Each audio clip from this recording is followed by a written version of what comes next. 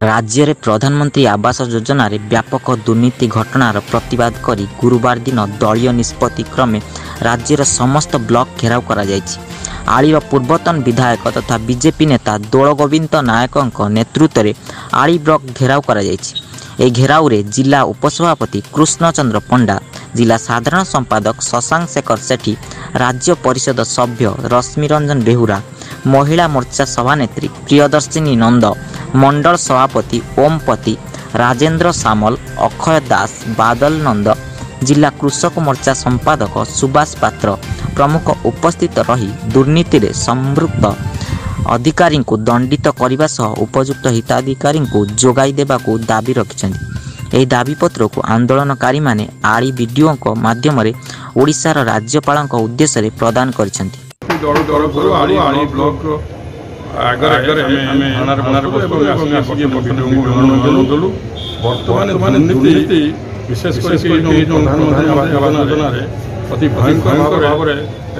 ଦୁର୍ନୀତି ହେଉଛି ଅସଙ୍ଗତି ଅନ୍ୟ ଅନ୍ୟ ହେଉଛି ତେଣୁ ଆମେ ଆମେ ସତର୍କ କରିଦେବୁ ଏବଂ କଲୁ ଆଗାମୀ ଦିନରେ ଯେମିତି ସଂଶୋଧନ କରାଯିବ ନହେଲେ ନହେଲେ ଉଦ୍ଦେଶ୍ୟ ଲକ୍ଷ୍ୟରେ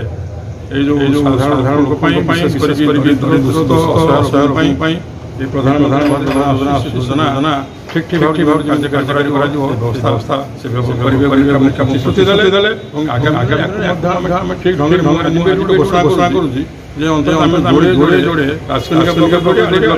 ପଞ୍ଚାୟତ ନାହିଁ କେତେ ଲୋକ ଲୋକ ପାଇଛନ୍ତି କେତେ ପ୍ରଧାନମନ୍ତ୍ରୀ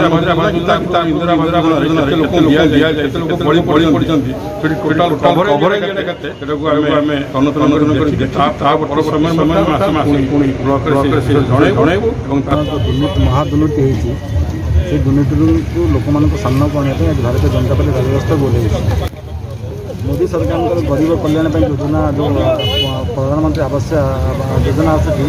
ସେଇ ଆବାସ ଯୋଜନାକୁ ଆମର ଏଠିକାର ବିଜୁ ଜନତା ଦଳ ତାକୁ